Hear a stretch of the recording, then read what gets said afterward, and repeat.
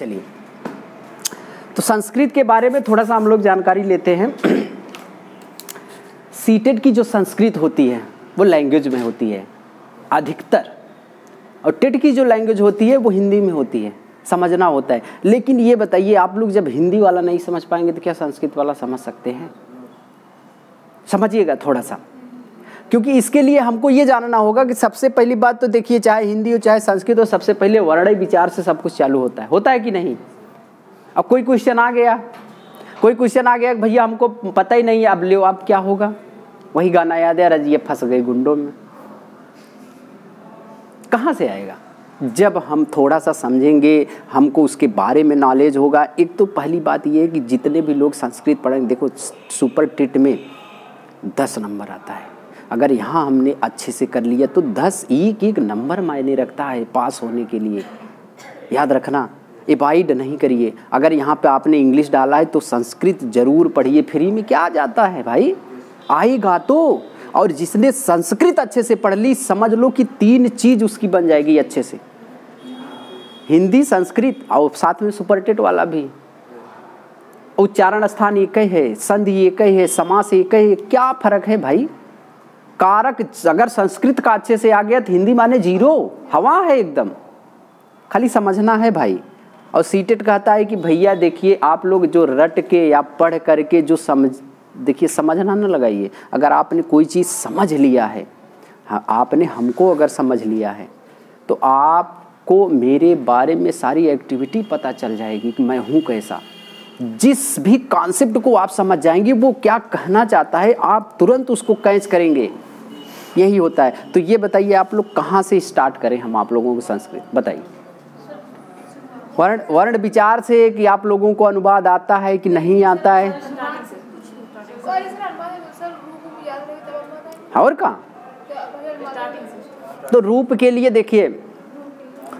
रूप देखिए, दो चीज़ होती है, एक सेट धातु होती है, एक अनेट धातु होती है। ये कभी नाम नहीं सुना होगा आप लोगों ने, जितने भी लोग सभी। तो सेट धातुओं का रूप अलग चलता है, अनिट धातुओं का रूप अलग चलता है, और एक आत्मने पद की धातु होती है। तीन धातुएँ होती हैं, समझना? आत्मने पद के लिए दूसरा प्रयोग होता है, और देखिए, जो ये अनिट धातु होती है, उसका जो वर्तमान काल का रूप और भविष्य काल का रूप में परिवर्तन होता है। थोड़ा सा देख लो, मैं बताता हूँ, जैसे हमने यहाँ पे कह दिया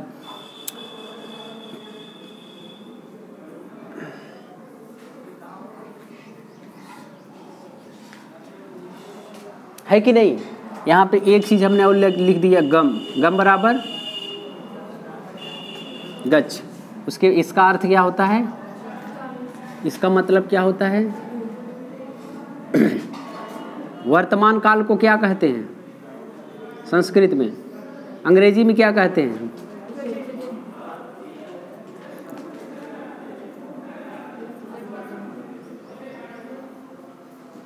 यही ना कहते हैं। अब इससे सब कुछ पता हो गया, हिंदी में क्या कहेंगे? वर्तमान काल, अंग्रेज़ी में प्रेजेंट इसमें क्या कहेंगे? इसका रूप चलता है गम बराबर गच्छ। देखिए थोड़ा सा समझिएगा, गम ये दो चीज़, ये है मूल धातु। क्या है? मूल धातु। ये रूप रूप चलता है इससे ये हिंदी अर्थ है। और ये इसको हिंदी में क्या कहेंगे? समझिएगा। क्रिया के मूल रूप को क्या कहेंगे? धातु कहते हैं। देखिए यही गम से ये रूप चलता है। गच्छति गच्छत गच्छन्ति आप लोग सुने होंगे। चलता है कि नहीं? गच्छसी गच्छत गच्छत गच्छामि गच्छा गच्छाम। अब देखिए इसी गम से गम से ये जो मूल है जो संस्कृत का शब्द है पहली बात तो ये समझो कि संस्कृत संस्कृत से किसकी उत्पत्ति हुई है? और हिंदी शब्द की उत्पत्ति किससे हुई है? आए? फारसी से। अगर उन्होंने पूछा कि हिंदी शब्द की उत्पत्ति हिंदी शब्द कहाँ से लिया गया है तो कहाँ से लिया गया है? फारसी। अगर उन्होंने केवल पूछ लिया कि हिंदी की उत्पत्ति कहाँ से हुई है तो संस्कृत से हुई है। हाँ। परीक्षा दी हो? हाँ तो आज से ये हम लोग कभी नहीं भूलेंगे। जो हिंदी शब्द कहाँ से लिया गया तो ये फारसी शब्द होता है और हिंदी की उत्पत्ति कहाँ से हुई है? संस्कृत से हुई है। अब देखते हैं।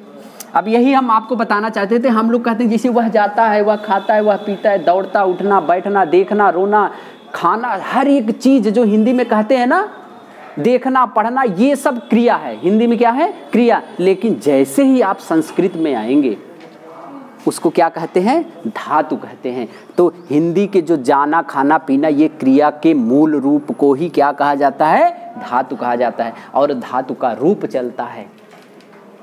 समझ रहे हो कि नहीं? धातुएँ क्या क्या है? जैसे अब यहाँ, अभी थोड़ा सा देख लो। जैसे वर्तमान काल का रूप होता है गच्छति। फिर उसके बाद ये एक वचन की बात है, ठीक है? फिर गच्छत। है फिर उसके बाद बोलो? गच्छन्ति हो गया। अब यहाँ पे देखो, जब इसका हम लोग लिट लिट लकार माने भविष्य काल इसका रूप देखिए यहाँ पे, मूल धातु क्या है? मूल धातु के वर्ण वर्ण कौन कौन से हैं?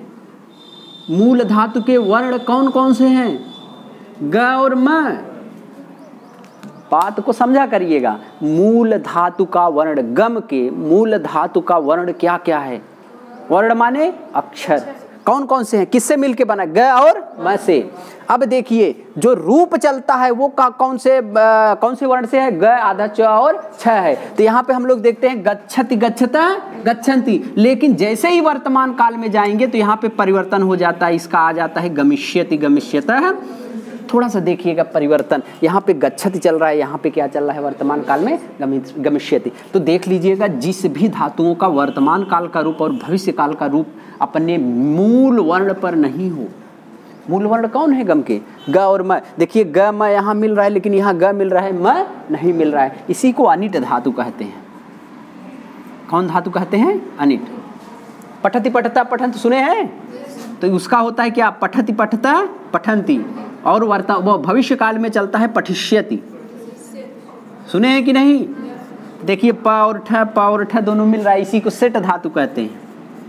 इसको हम आगे चल के बताएँगे, कोई बात नहीं है, अभी तो थोड़ा सा जान लो। तो जो सेट धातुएँ होती हैं, जो अनिट धातुएँ, जब हम लोग प्रत्यय पढ़ेंगे ना, बहुत बड़ा उपयोग होता है इनका। समझ रहे हैं कि नहीं? तो इनका रूप अलग चल जाता है क्योंकि इनका वर्तमान काल का रूप और भविष्य काल का रूप अपने दोनों मूल वर्णों पर ही होते हैं। इसका मूल धातु का वर्ण कौन कौन से हैं? प और ठ तो आज तो पहला दिन है। तो देखते हैं, अब स्टार्ट करते हैं आप लोगों को। कुछ ना कुछ पढ़ाएँ।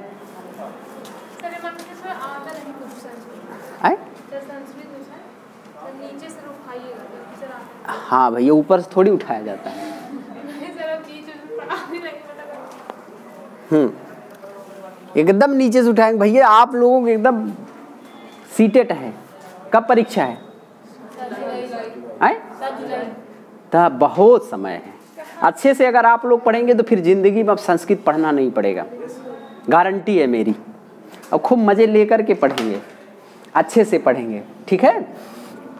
तो आज हम लोग एकदम छोटी सर्वनाम शब्द से स्टार्ट। पहली बात तो ये जानो कि जो मनुष्य होता है, मनुष्य को आप स्त्रीलिंग बना सकते हो, संस्कृत में नपुंसक लिंग भी बना सकते हो और पुलिंग तो वो होता ही है। लेकिन स्त्रीलिंग वाले शब्द को आप केवल स्त्रीलिंग ही बना सकते हो, उसके साथ कोई छेड़खानी नहीं कर सकते। हमको आप तीनों लिंगों में परिवर्तित कर सकते हैं। कैसे? अब इसी के साथ मेरा नाम भी जान लीजिए। संजीव। ठीक है? अब संजीव प्रतिपदिकार्थ वचन मात्र एक आप लोगों ने विभक्ति जब पढ़ा होगा तो एक सूत्र होता है प्रथमा विभक्त का। प्रतिपदिकार्थ। लिखा होता है कि नहीं? प्रतिपदिकार्थ। वचन मात्र। वचन लिंग, परिमाण। इतने चीज़ों की जानकारी कौन देता है? प्रथमा विभक्ति देती है। अब थोड़ा सा इस ये चीज़ जान, जो नॉर्मल चीज़ जानते चलो। प्रतिपदिकार्थ। इसका प्रति, पहली बात तो जान लो प्रति का अर्थ क्या होता है? प्रति का अर्थ होता है की ओर।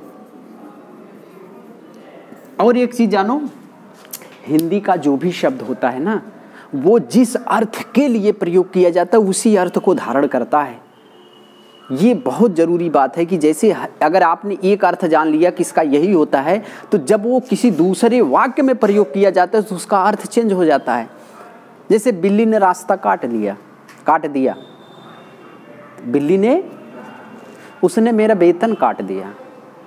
अब देखो, काटने का उधर बिल्ली से क्या संबंध है? मतलब बिल्ली ने रास्ता काटा, इधर वेतन काट लिए पैसा ही काट लिया मेरा। वेतन नहीं दिया, भाई महीने का जो होता है। कुत्ते ने काट खाया। अब उचार ले श्याम तो कहने का अर्थ यह है कि जब जिस अर्थ के लिए प्रयोग किया जाएगा, वो उसी अर्थ को पकड़ता है। और हिंदी का जो, और हिंदी के एक एक शब्दों का अर्थ बहुत बड़ा होता है। हर कोई ज्ञाता नहीं होता है, पहली बात। लेकिन जिस अर्थ के लिए प्रयोग किया जाता है तो उसको सम अब ये कह रहे हैं कि प्रतिपदिक प्रतिपदिक का मतलब ही होता है किसी भी शब्द का साधारण अर्थ बताना। प्रतिपदिक का मतलब क्या होता है? किसी भी शब्द का साधारण। अब ये संजीव है। इस संजीव का संस्कृत में साधारण अर्थ बताना बताइए, ये संजीव इस समय संस्कृत में है कि हिंदी में है? हिंदी में है ना? संस्कृत में है? नहीं है। संजीव का मतलब ये संजीव है भाई, एक नाम है। लेकिन संजीव को जैसे ही संस्कृत में आपको ले जाना होगा और संस्कृत में जाएँगे तो आपको क्या लगा देना होगा? विसर्ग लगा देना होगा। तो अब हो गया संजीव है। एक नाम और आप लोग सुने होंगे बालक बालक माने? कई बालक। एक बालक ना? तो यहाँ संजीव कितने हैं? एक संजीव है। तो देखिए, इस संजीव, इस बालक का अर्थ बताने के लिए हमने किसका प्रयोग किया है? विसर्ग का। और विसर्ग हमेशा प्रथमा विभक्ति में जैसे ही रूप स्टार्ट किया जाता है तो हम लोग उसमें पहले ही विसर्ग लगाते हैं। जैसे, अभी देखिएगा, अगर बालिका का रूप याद, जब जैसे आप लिखेंगे तो बालिका लिखते हैं, बालिका नहीं लिखते हैं। दुनिया में जितनी भी औरत होती हैं, उनका जो नाम होता है, हमेशा संस्कृत का एक वचन ही होता है। उसमें आपने अगर विसर्ग लगा दिया तो एक प्रथमा विभक्त का बहुवचन हो जाती हैं। जैसे हमने यहाँ पे लिख दिया, मान लो जैसे बाल, बालिका ही ले लिया। अब देखिए, संजीव को संस्कृत में बनाने के लिए क्या चीज़ प्रयोग किया? विसर्ग। लेकिन इसको संस्कृत में बनाने के लिए अपने आप में ही संस्कृत में है। अगर सोचो कि पुलिंग की तरह, भैया लो अब हो गया संस्कृत में नहीं, अब ये बहुत सारी बालिका हो गई। बालिका बालिके बालिका साते ता। तो कहने का मतलब ये कि ये बालिका इस समय बहुत सारी बालिका ये अकेली बालिका ना होकर के कितनी है? बहुत सारी हैं। लेकिन यहाँ पे संजीव के आगे जब विसर्ग लगा दिया जाता है तो संजीव अकेला होता है। अब देखिए संजीव को स्त्रीलिंग बनाना है तो इसी में क्या कर दोगी? या टाप प्रत्यय। स्त्रियाँ टाप पहनती है कि नहीं? पहनती है कि नहीं? तो स्त्री प्रत्यय में टाप डाप दो होता है। टाप प्रत्यय और डाप प्रत्यय। टाप का आशेष रहता है। क्या शेष रहता है? आ शेष रहता है। अब संजीव में, जैसे संजीव हमने लिख दिया, इसी में टाप प्रत्यय जोड़ दो। अब इसका क्या शेष रहता है? आ। अब इसी में ये आ जुड़ जाएगा तो क्या बन जाएगा? संजीवा। अब मैं किसमें हूँ? स्त्रीलिंग में। और इसी में अम जोड़ दो तो क्या बन जाएगा? संजीवम। इस समय कौन से लिंग में हूँ? नपुंसक लिंग। तो पुलिंग वाले शब्द को, जितने भी शब्द होते हैं ना, सबको आप स्त्रीलिंग भी बना सकती हैं और नपुंसक लिंग भी बना सकती है और स्वयं में वो पुलिंग होता ही है। और एक चीज़ जानो, जब आपको किसी भी शब्द का स्त्रीलिंग और पुलिंग ज्ञात करना होता है ना तो होता होती लगा दो, लड्डू पालो, पक्का। हमने कहा कुसुम होती है होता है?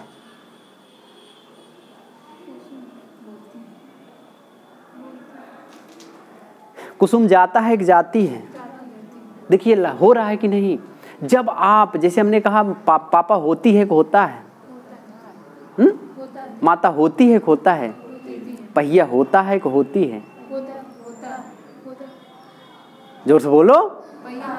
होता है। कहते हैं कि नहीं? नदी होती है कि होता है। देखो अब उस तरह से आ गया निम्नलिखित में से पुलिंग और स्त्रीलिंग। भाई कहेगा स्त्रीलिंग शब्द है। और चार दे दिया उसी में हम लोग घूमते हैं। घूमते हैं कि नहीं? लेकिन जितने भी शब्द देता, होता, होती, लगाओ ना। पानी होता है होती है? क्या बोलते हैं? होता है बोलते हैं। तो देखा देखा, पकड़ लिए कि नहीं? उस तरीके से याद करेंगे, भगवान होता क्या है? होता क्या अरे भैया, होता, होती, लगाओ ना। अब देखो, संजीव होता है होती है? होती है। नहीं, होता है। टेबल होता है होती है? लगाते हैं कि नहीं? हम लोग नॉर्मल यूज़ करते हैं लेकिन समझते नहीं है। खाली थोड़ा सा दिमाग लगा दो अपने आप आ जाएगा। है कि नहीं? पुस्तक होता है कि होती है? सोच के बोलो।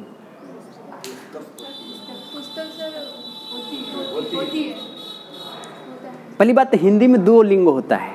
स्त्रीलिंग और पुलिंग। लेकिन संस्कृत में तीन। क्या क्या पुलिंग स्त्रीलिंग नपुंसक लिंग। पुस्तक संस्कृत में नपुंसक लिंग है।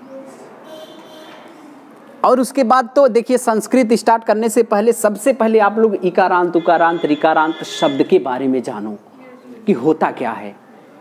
समझ रहे कि नहीं? अभी हम लोग यहीं से स्टार्ट करते हैं क्योंकि एकदम आराम से। चलिए, लिखिए, इकारांत, उकारांत, रिकारांत शब्दों का पहचान करना। तो सबसे पहले हेडिंग डालो।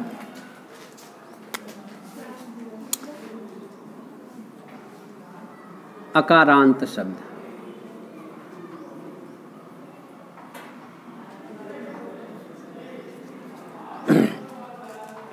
अकारांत शब्द। शब्दों की पहचान रहेगी तो अक्सर पूछ लेता है, कौन सा शब्द अकारांत है, इकारांत है, उकारांत है रिकारांत है। तो अकारांत का मतलब ये होता है कि आप लोग ऐसा शब्द बनाइए संस्कृत में, जिस जो शब्द बनाएँगे, उसके लास्ट वाले लास्ट वाले वर्ण पर अ आता हो। बनाओ। ऐसा शब्द आप लोग बना दो जिसके लास्ट में अ आता हो। धन्यवाद। जैसे संस्कृत पढ़ रहे हैं। यहाँ पे लिख दिया क्या? अब ये बालक क में क्या है? राम है। म में क्या है? शिक्षक है। यहाँ पे क्या है? तो जिस भी जिस भी शब्द के लास्ट वाले वर्ण में आता है, वही अकारांत शब्द होता है। तो एक चीज़ और समझना कि जब आप यहाँ पे बताइए, बालक बालक बालक होता है कि होती है? तो ये अकारांत पुलिंग हो गया। क्या हो गया? अकारांत पुलिंग शब्द हो गया। समझ गए कि नहीं? ये क्या हुआ? अकारांत पुलिंग शब्द हो गया। ये अब समझे कि नहीं? अगर उन्होंने पूछ लिया, निम्नलिखित में से अकारांत पुलिंग शब्द है तो अकारांत पुलिंग शब्द ये हो गया आपका। अब आप लोग बनाइए। अकारांत स्त्रीलिंग शब्द बनाओ अकारांत स्त्रीलिंग शब्द बनाने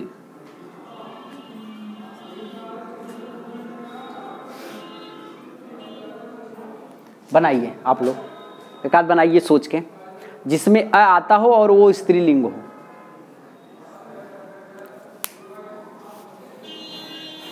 आप लोग भी सोचिए अपने मन में कि क्या हो सकता है? ऐसा कौन सा शब्द होगा कि जो अकारांत, जो जिसके लास्ट में ऐसा शब्द हो आता हो और वो स्त्रीलिंग हो?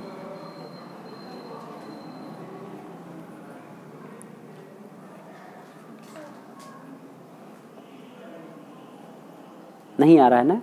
किसी का नाम बता दो। आ हो गया। जैसे आपने बोला बालिका। बालिका, यह क्या हो गया? आकारांत स्त्रीलिंग शब्द हो गया। रमा। क्या हो गया? आकारांत हो गया। आकारांत स्त्रीलिंग शब्द हो गया। सोच के बताओ। आप लोग देखते हैं कि, सोच लेते हैं कि नहीं?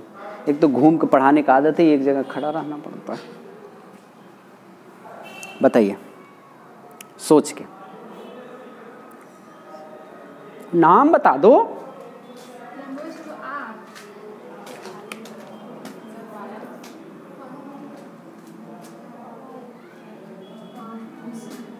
हम्म। क्या?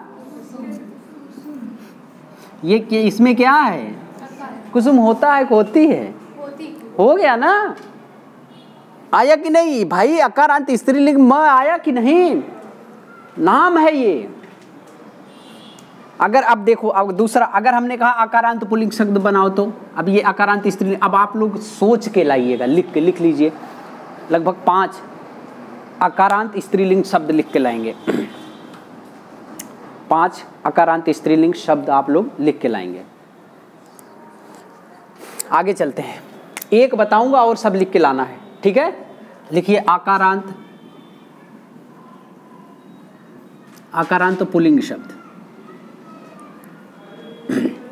अब बताइए, ऐसा कोई शब्द बनाइए कि जिसके लास्ट में आ आता हो और वो पुलिंग हो।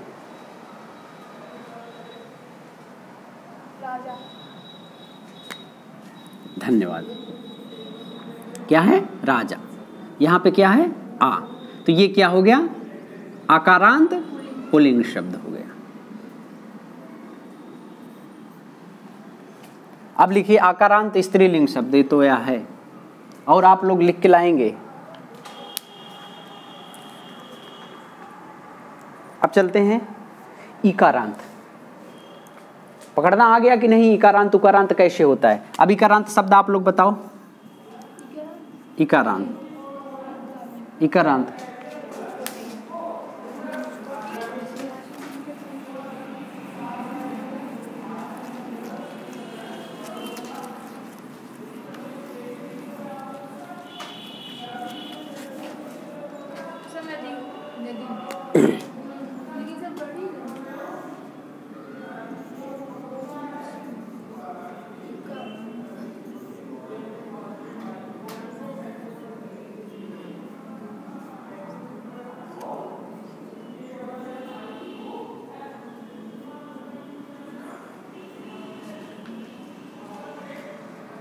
बताइए।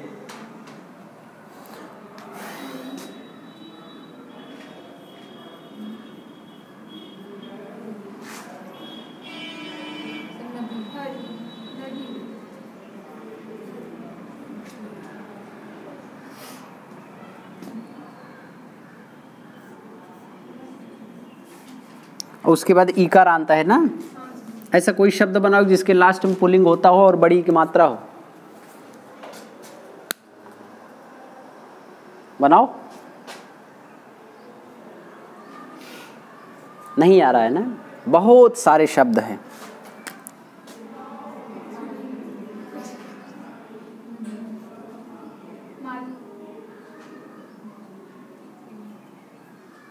माली लिख दें। चलो भाई।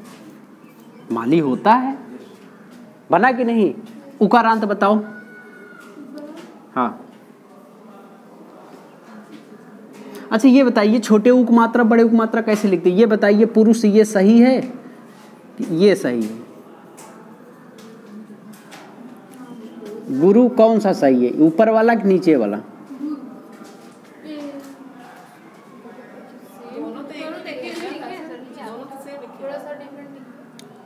डिफरेंट लिखो आए? दोनों सही है नहीं, गुरु का मतलब दोनों तो सही है, बात तो सही है, लेकिन मैंने, हमने कहा, हम लोग गुरु गुरु गुरु कहते हैं कि नहीं?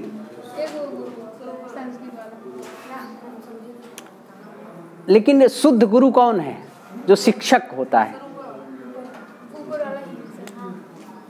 ये ऊपर वाला सही, इसमें?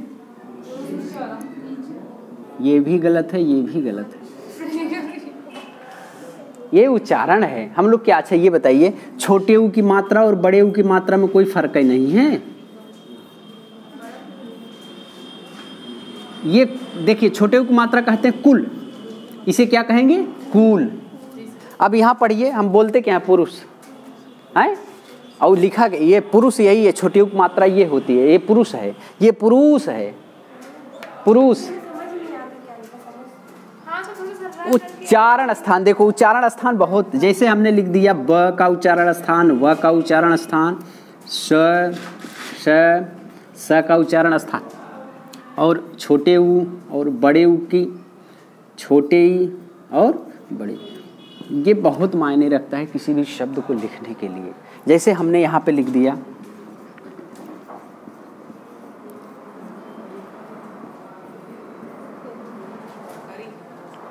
बकरी, वकरी। अब देखिए, बकरी बोलो और वकरी बोलो क्या फ़र्क दिख रहा है उच्चारण स्थान से?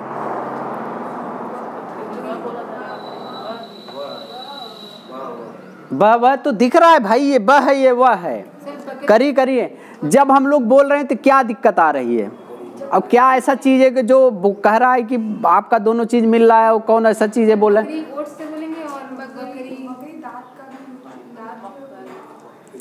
ब बोलने के लिए दोनों होठ को मिलाना पड़ता है। बकरी अब ब को बिना होठ मिलाए बोलो। तो सबसे पहले देखिए जब कोई भी शब्द लिख बोला कोई बोले तो जब आप उस पर शुद्ध उच्चारण देखिए किसी भी शब्द का जब भी उच्चारण प्रोनाउंसिएशन जो होता है बहुत मायने रखता है कि जब आप वो शुद्ध देखिए कोई भी चीज़ अच्छा जब तब लगता है जब वो साफ़ और सुंदर हो। ना? तो कोई भी चीज़ जब आप जिन स्थानों से बोला जाता है, उन स्थानों पर आप उसको अटैच करेंगे। पहली बात तो उच्चारण स्थान आपको पता होना चाहिए और किन स्थानों से बोला जाता है, उस स्थान के बारे में जानकारी रहेगी तो आप इसको जब बोला जाएगा, लिखो बकरी तो आप बकरी अच्छे से लिख लोगे। अगर नहीं उच्चारण स्थान पता है तो नहीं लिख पाओगे। अब यहाँ पे आते हैं, ये भाई साहब कहते हैं, भैया सुनिए, जब आपको मुझे कहीं भी मिल जाऊँ मैं तो जब आप मुझे बोलेंगे तो बिना सीटी मारे बोल दो। जैसे सर ना? ये कहते हैं कि भैया, सुनो, अगर हम कहीं मिल जाएँगे तो थोड़ा सा सीटी मारना मुझे देख करके। ज़्यादा नहीं मारना। सर और ये कह रहे हैं, जितना तुम्हारे में दम हो, जितना तुम्हारे में दम हो, देख के सीटी मारो, हम थाम लेंगे। बोले श समझ रहे हैं कि नहीं? अब देखिए, इन तीनों का कैसे, थोड़ा सा समझिएगा। जैसे हमने लिख दिया, सीताराम सीताराम। और फिर क्या है? उच्चारण। ये कहते हैं कि मुझे सीटी नहीं मारना देख के। सीधे बोल देना भैया। ये कह रहे हैं मुझे देखना तो थोड़ा सा सीटी मारना। ये बोल रहे हैं जितना तुम्हारे में दम है। ऐसे बोलो।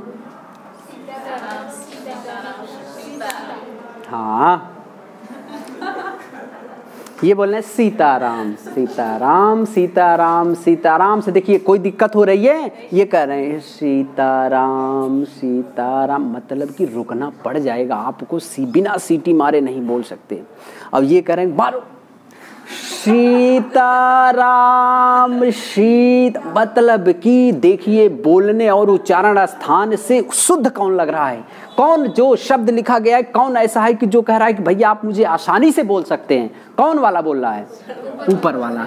तो आप इस उच्चारण के स्थान से प्रोनाउंसिएशन से ही आपको किसी को शुद्ध और अशुद्ध कह सकते हैं। जब तक आपको पता नहीं रहेगा, तब तक आप कुछ कर नहीं सकते। और वर्तनी के लिए एक आता है क्वेश्चन आता है कि नहीं? तो ये चीज़ समझना होगा आपको। जब आप समझेंगे, यही नियम होता है। अब ये आप बोल दिया, बकरी तो लिख दिया, बकरी।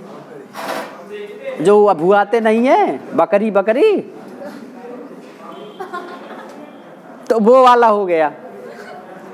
तो अब देखिए, ये उकारांत जैसे गुरु हो गए। गुरु कैसे लिखा जाता है? ऐसे। उकारांत हुआ कि नहीं? इसके लास्ट में क्या है? अगर हमने लिख दिया वधु इसके लास्ट में क्या है? बड़ा हुआ है तो उकारांत हो गया। हमने लिख दिया पित्री इसके लास्ट में क्या है? री की मात्रा है कि नहीं? हमने कहा मातृ। तरीकारांत शब्द हो गया। उन्होंने कहा पहचान करिए। अगर उन्होंने दे दिया कि जैसे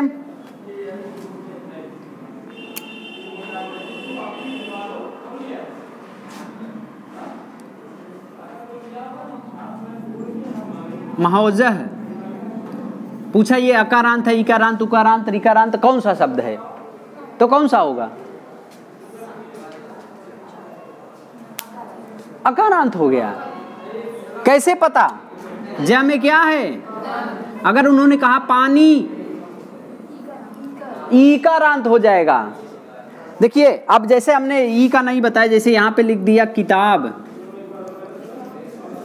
और यहाँ पे लिख दिया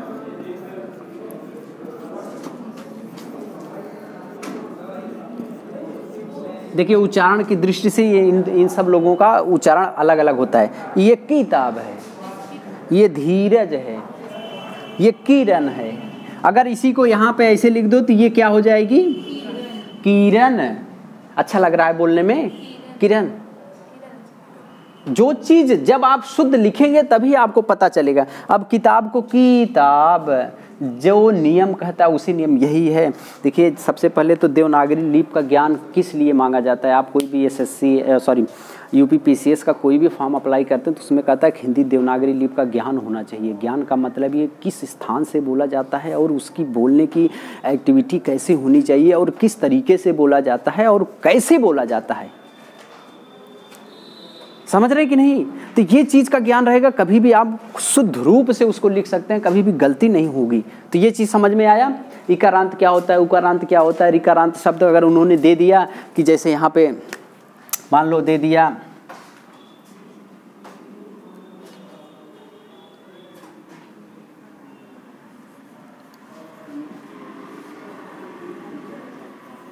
पूछा, इकारांत है, उकारांत है रिकारांत है, कौन सा शब्द है, क्या बताओगे? ईकारांत हो जाएगा। कैसे हो जाएगा? क्योंकि र पे किसकी मात्रा है? बड़ी की मात्रा। तो ये ईकारांत शब्द हो गया। लेकिन माहेश्वरी होता है होती है? माहेश्वरी होती है होता है? होती है। तो ये ईकारांत क्या हो गया? स्त्रीलिंग शब्द हो गया। अगर उन्होंने हमने लिख दिया माहेश्वर है अकारांत क्या महेश, माहेश्वर होते हैं होती हैं? होते हैं, पुलिंग हो गया। कैसे भी करके, अगर उन्होंने दे दिया पितृ, पूछा निम्नलिखित में से इकारांत है कि उकारांत है, रिकारांत क्या होगा? रिकारांत, क्योंकि त पे किसकी मात्रा है? री की मात्रा है। अब ये बताइए, पिता होता है होती है? होता है भाई। तो पिता ये, पिता जो शब्द है, इस समय ये रिकारांत पुलिंग शब्द है। तो ये चीज़ आ गया। कभी भी अगर पूछा जाएगा तो दिक्कत? कोई दिक्कत? नहीं। अब चलते हैं और आगे।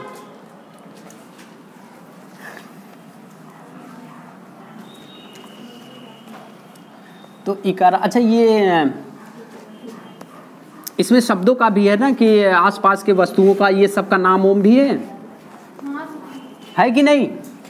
कुछ पूछ लें नाम ओम आता है कि नहीं आप लोगों को? क्योंकि आप डीएलएड के छात्र हैं आप लोगों को कुछ ना कुछ तो पता ही होगा। फ़र्स्ट सेमेस्टर में था ना? पूछें? क्या हो रहा है वो?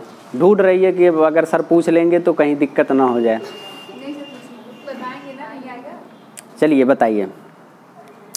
लोमसिका माने। लोमसिका। लोमड़ी। गृह गोदिका घर में जो ऊपर रहती है। और दुरदुरह माने? मेढक। हम्म। शर्मा माने? शर्मा सुनी। कुतिया। कुकुरह माने? ये तो सबको पता होगा। क्योंकि ये आम बात है ना। अब वो भी तो है, शर्मा सुनी। दो नाम है, कुतिया का क्या नाम है? एक का नाम शर्म, दोनों नाम है। शर्मा कहो या तो सुनी कहो। दोनों का मतलब क्या होता है? मतलब शर्मा के सुनिए तो वो कह रहे गाली दे रही तुम कुतिया हो। शर्मा सुनी आगे चले? करपू अच्छा ये खरजूरा माने। हाँ खरजूरा है। और सस्कह माने? तो खरजूरा माने? खजूर। पता नहीं है। द्राक्षा माने। हैं? जल्दी बोलो जल्दी बोलो। पक्का? लाख करें। अगर हमने कहा क्षुद्र द्राक्षा माने। हाँ अब क्या हो जाएगा? किसमिस हो जाएगा। शुष्क माने सुखा के तो वही तो बनता है। अब समझ में आया? अच्छा जैसे हमने अगर पूछ लिया ये बताओ पलांडू माने? हाँ। पलांडू माने? हिंडीरा माने? हाँ? अरे वाह। टोमेटो माने?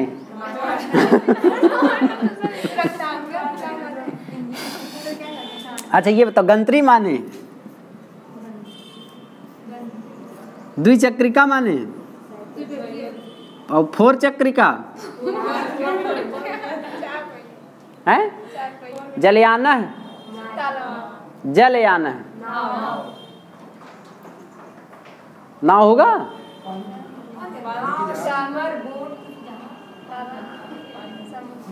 और वायुयानम माने? वायुयानम। हवाई जहाज़, हेलीकॉप्टर? और जलयानम माने? जलयान भाई, जवन समझ गए? और गंत्री माने कौन सी? बताओ, बैलगाड़ी होती है। हम्म। द्विचक्रिका माने? त्रिचक्रिका माने? टेंपो। गाना सुने हो कि नहीं टेंपो वाला? हम्म? तो आप लोगों को पाँच पाँच हम लिखाते जाएँगे, ठीक है? ये आप लोग याद भी करते रहिएगा। अच्छा ये बताइए। कपालह माने? खोपड़ी? और घ्राण माने? पक्का? हस्त माने? पादा माने? उदरा माने? मतलब पढ़े हैं आप लोग थोड़ा बहुत। चलिए स्टार्ट करते हैं। हम लोग लिखिए सर्वनाम शब्द।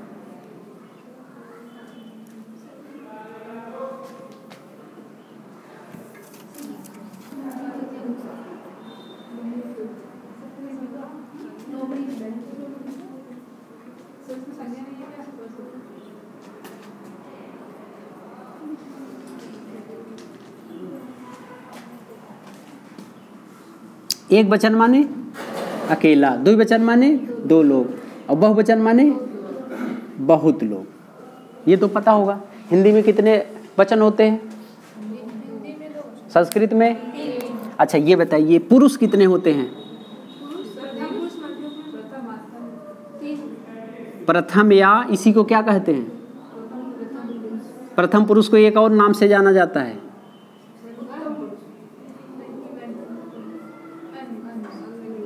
तो आज के बाद पता हो गया? फिर दूसरे नंबर पे क्या होता है? होता है कि नहीं? तीसरे नंबर पे क्या होता है? अब देखिए सर्वनाम, सबसे पहला सर्वनाम शब्द कौन सा होता है? शह। शह माने? तो माने? बोलो जल्दी जल्दी। वह दोनों, वे दोनों। ते माने?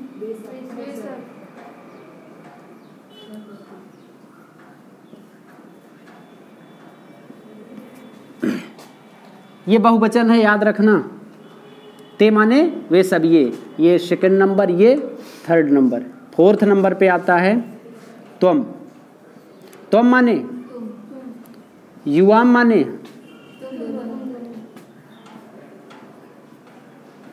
यूयम माने?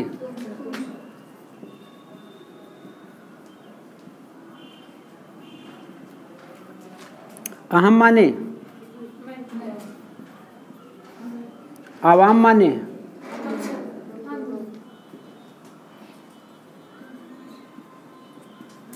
वयम माने?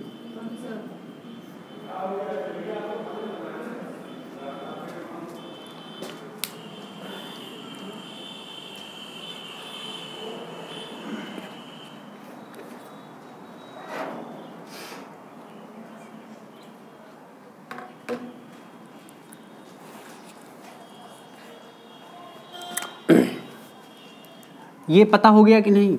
सबको पता हो गया अक्सा माने वह ये पुलिंग शब्द है, ये भी पुलिंग है, ये भी पुलिंग है। अहम माने मैं।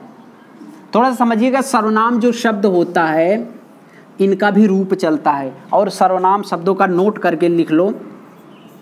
लिखो। सर्वनाम शब्दों का रूप प्रथमा से लेकर के सप्तमी विभक्त तक होती है।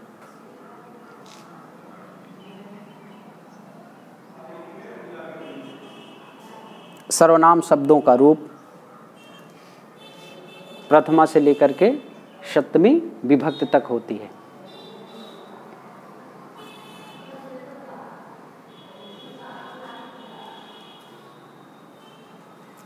हो गया?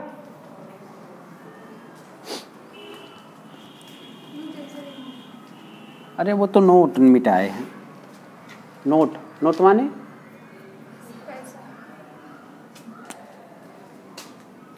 ये सबको पता है कि नहीं अभी तक?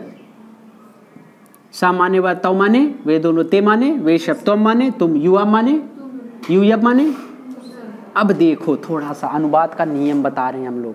रूप आप लोग जानते हो, धातु रूप धातु रूप।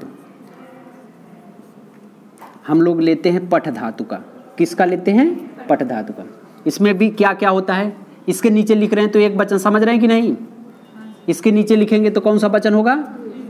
और इसके नीचे इसमें कितने पुरुष होते हैं?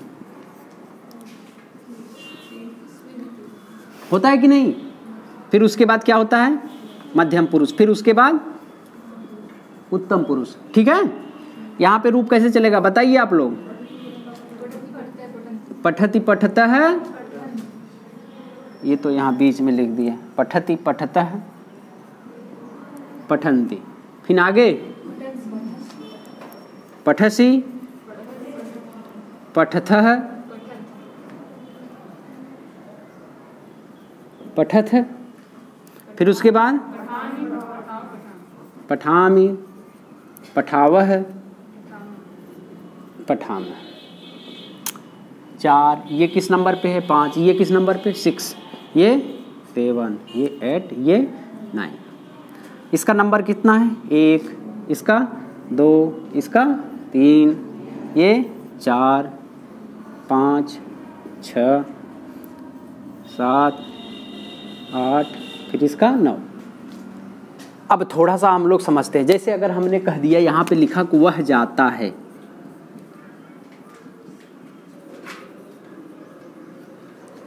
थोड़ा सा समझिएगा। वह हुँ?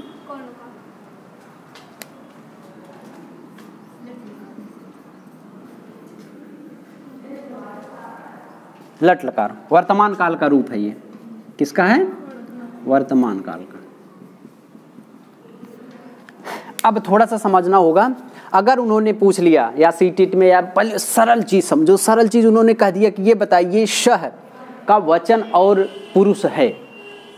सह शब्द का, सह सर्वनाम शब्द का पुरुष और वचन है। उसमें चार विकल्प बनाए। सबसे पहला विकल्प दिया कि एक वचन प्रथम पुरुष। सही है? अगर उन्होंने पूछ लिया, आवाम का पुरुष और वचन बताइए तो क्या होगा? उत्तम पुरुष, दो वचन हो जाएगा। अगर उन्होंने पूछ लिया यूयम का पुरुष और वचन बताइए। हाँ समझ में आया?